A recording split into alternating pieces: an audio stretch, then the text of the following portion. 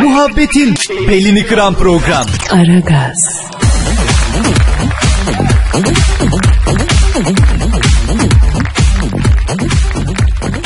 Pascal Kadir'cim. şu an stüdyomuzda kim var? Dilber Hoca geldi. Hanımlar beyler yeryüzünde yaşayan ve unutulmuş hiçbir lisanda onu hakkıyla anlatmanın mümkün olmadığı birisi.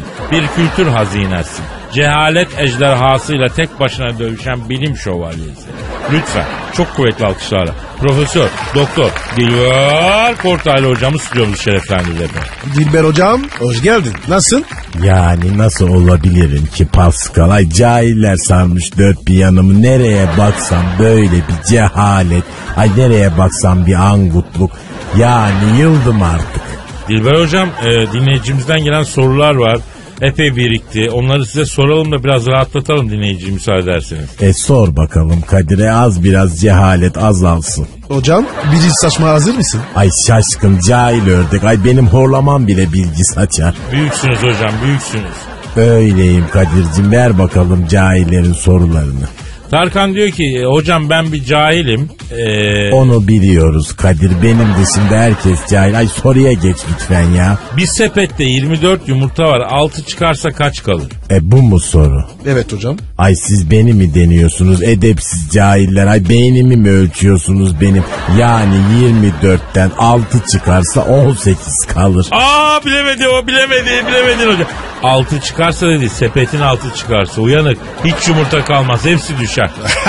Ay o sepetin altı var ya sizin yüze girsin yani bir sevdikler demem. Ay kimlerin eline kaldım ya Rabbi. Ah ben Galileolarla Newtonlarla arkadaşlık edecek adamdım. Ay soytarıların elinde böyle harcanıyorum. Ama hocam ayıp oluyor. Şaka bunlar ama. Bilim adamıyla şaka olmaz bir kere. Öbür soruya geç Kadir lütfen. Neyse e, Meltem diyor ki Dul oğulları beyliğinin kurucusu gerçekten duldu.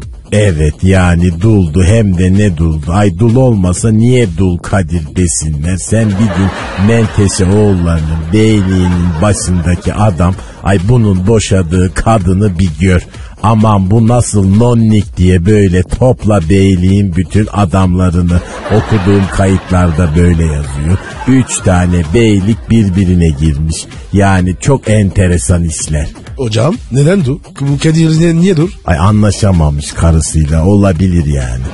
Hocam Sezar da dur. Ona diye dur Sezar demiyorlar. Ha? Adamın üstüne durluk yapışmış değil mi? Koca bey ya. Dur Kadir. Olur mu ya? Ay bu Sezar ayrı bir manyakmış. Onun yaptıklarını şimdi anlatsam ortalık birbirine girer. Ben de olsam alır bıçağı böyle bilmem neresine saplardım Ya yani. hocam ne diyorsunuz gözünü seveyim ya. Ay yani bu Sezar hamama gidip Kadir affedersin böyle peştemalı üstünden sıyırıp Aman hocam dur. Anlatma ya. acayip tarih bu ayol yani tarihi gerçeklere ben belgeyle konuşuyorum. Tamam hocam tamam neyse kapatalım bunu. Ee, Emin diyor ki Dilber hocam siz tarihin her anını bilirsiniz.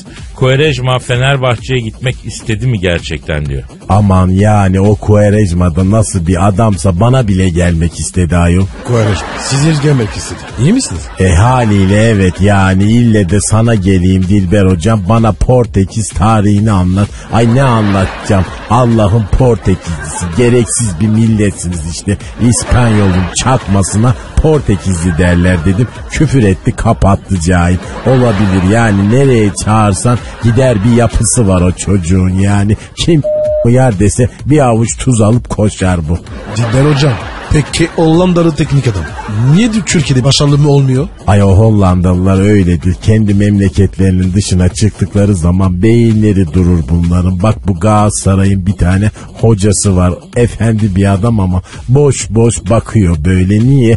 İdraki durdu adam. İlle de o Amsterdam'ın kanallarındaki kokusunu alacak ki kafası çalışsın bunu. Hocam Lale'yi de bu Hollandalılar bizden yürütmüştü değil mi? Yani evet kanuni devrinde Rüstem Paşa lale soğanlarını Hollanda'ya göndermiş. E yanlış tabi memlekette o kadar lalesi varken tutup niye gerçek laleyi gönderiyorsun değil mi? E zaten kanuni de buna kızıp almıştır Rüstem Paşa'nın kellesini. Ciddi mi bu? Cidden öyle mi ya?